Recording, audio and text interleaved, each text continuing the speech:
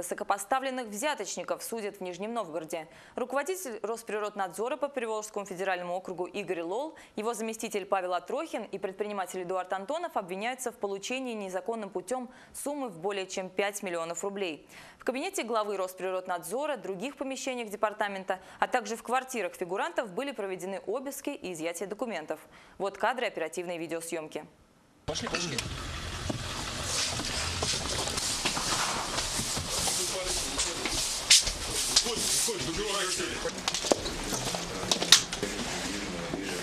Проведена широкомасштабная операция в рамках возбужденного уголовного дела по подозрению в получении взяток, э, коррупции нескольких со- высокопоставленных сотрудников. Э, Следователи нашли в нескольких помещениях ин- интересующие их документы, технические средства,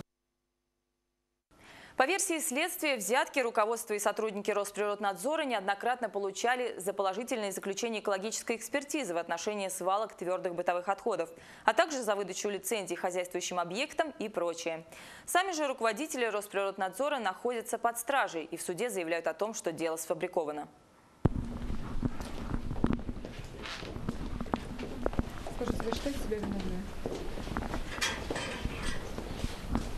Я еще не осужден.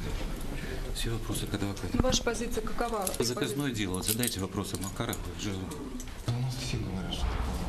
Ну все. Ну все, понимаете, политический заказ на всех, хоть до дворника любого возьму. Он, он брал у себя Конечно, брал. Ни одну и не две. в каком размере? Постоянно. Много там брали. А? Много они там брали, сложно так сосчитать.